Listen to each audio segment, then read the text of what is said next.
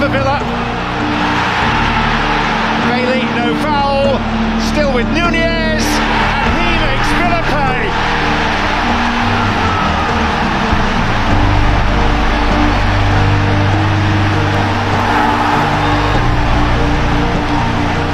just get caught on the break like this.